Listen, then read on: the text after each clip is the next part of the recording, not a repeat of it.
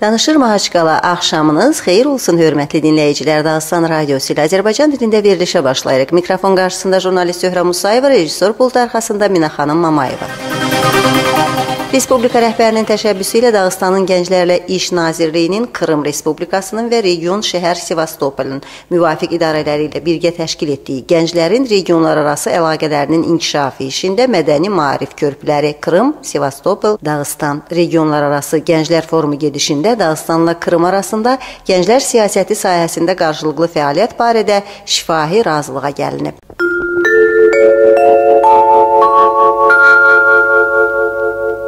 Bugündən etibarən Dağıstanın Məhərrəmkənd rayonunda Nova Filə avtomobil buraxılış məntəqəsində yeni piyada keçidi terminalı işə salınıb.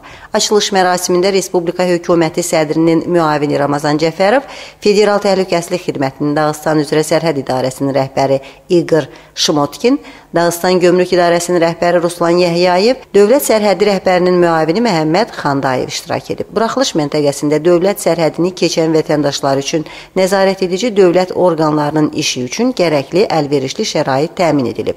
Nova Filə avtomobil buraxılış məntəqəsinin işi gündüz rejimindədir. Saat 8:30-dan 17-yədək davam edir.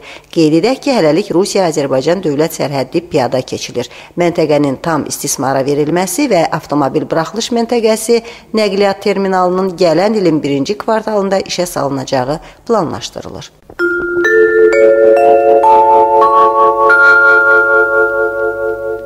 Respublika rəhbəri Ramazan Abdulətipov bir sıra bələdiyyə rəhbərlərini, həkimləri, mədəniyyət və incəsənət xadimlərini, məşhur idmançıları dövlət mükafatları ilə təltif edib. Dostluq evinin müşavirələr zalında keçmiş görüşdə ilk növbədə vəzifə borcunu yerinə yetirərkən həlak olanların yaxın adamlarına şücaət ordenləri təqdim olunub. İstedadlı uşaqlar üçün məktəbin bədii rəhbəri Murad Qajlayev Rusiya Federasiyası prezidentinin fərmanına əsasən Dostluq ordeni ilə təltif olunub. Həkimlərə, müəllimlərə və artistlərə şəxslərə, jurnalistlərə əməkdar işçi fəxri adları verilib. 10 nəfər Dağıstan Respublikası qarşısında xidmətə görə orden ilə təltif olunub. Ümumiyyətlə 40 nəfərə dövlət mükafatları verilib.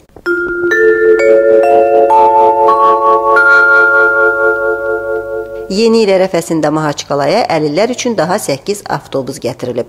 İnsan kapitalı önəmli layihəsi və Əliyetər Mühit Dövlət Proqramı çərçivəsində əldə olunmuş və dövlət müəssisəsinin balansına salınacaq. Bu avtobuslar şəhər daxilində sərnişin daşıntısı üçün nəzərdə tutulur. İctimai nəqliyyat 72 nəfər sərnişini yerləşdirir. Əmək və Sosial Tərəqqi Nazirliyindən verilən məlumata əsasən gələn il daha 5 müvafiq nəqliyyat əldə ediləcək.